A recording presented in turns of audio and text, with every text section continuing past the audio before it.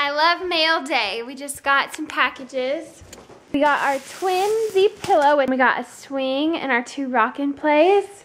And Alex, Stop. he's embarrassed because he's in his thermals, but I think he's cute. and he's going, he's going to fit it together. So I know how useful boppies are for babies. And I was looking online and this is called the Twin Z pillow, which I think is totally awesome. So instead of getting just two boppies, I ordered this. And so it'll be cool because both boys can lay in it. They can do like tummy time in it. Um, and I think this is the coolest part. Hopefully, this, I'll be able to tandem nurse them. That's the goal. So I wanted to show, so you, I think this is so cool that this has that purpose. And then you buckle it, and then you have a place to lay both babies and nurse them. So I'm really excited about this. I think it's gonna come in handy. And I think it'll be a cute place even just to lay them in to take pictures and everything. So I'm excited. Jinx tested out our crib, so now he's testing out the rock and play. Just can't even handle how good a big brother you are. And how darn cute you are. I seriously feel like I could record him all day. And I feel like once the boys get here, our vlogs are just gonna be like all of them like sleeping and just laying there because it's the cutest thing ever. I just can't even handle it. Oh man. it's hard to I smile. feel like I can't move my face. I know. Couples who do face masks together stay together. We've been at the doctor's office for almost two and a half hours, and we still haven't even seen the doctor. So, Alex. I think I cut you off. Alex jumped ship about an hour and a half ago, or so ago, because he had to go to work. So, it's just us. We've tried to find just about anything to entertain us in here, and it's Not a lot to pick from. not much. We've already seen what was in the cabinets. Nothing exciting. No diapers. yeah. Yeah, mom said I need Look to for read- diapers. Yeah, read them for diapers. But we can update you on the boys.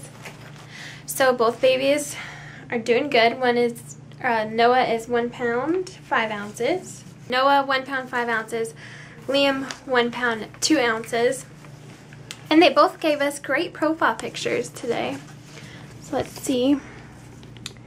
This is sweet little Noah. And that is Liam. So you can already see the resemblance. Am I right or am I right? Uh, so a few days ago, Jinx uh, Jinx got real sick, and um, he took a real bad turn for the worst, and uh, and we had to put him to sleep. So it's been it's been pretty hard. It's uh, it's been real hard, especially for Megan, since she's had to be home all the time, and um, and we both really miss him a lot. But um, we're just crying. Yeah. That was the last footage we had of him. And I don't want to talk a whole lot about it because um, it's still just fresh and hard, but thank you for all the prayers. I definitely appreciate them and can feel them. And still send them my way if you don't mind. My parents are letting us borrow Cooper so that our house isn't so alone and I'm not alone and it's not so empty. And so Cooper has really helped having somebody here whenever Alex is at work. So I'm thankful for that. Cooper is a he's a healing dog and we love him. I'm thankful I have a little couch buddy just like Jinxie was. This hair is just sticking out saying hello to everybody. that at my 23 week doctor's appointment that she measured me and said that I am measuring 30 weeks for a singleton. So I'm measuring seven weeks ahead of, I guess, the normal. And I'm definitely feeling that. I feel very huge. And as promised, I know I needed to be better about doing more like bump dates. Updating on the baby bump. So I'll show you. I'm gonna have to do a mirror selfie for now, but here is the bump.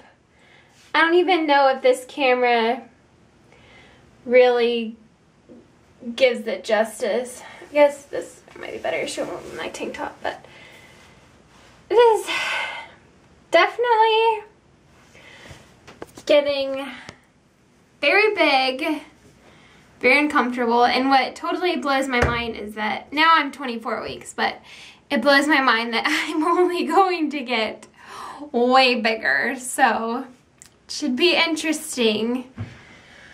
Thank you so much for all of the prayers and just the sweet words.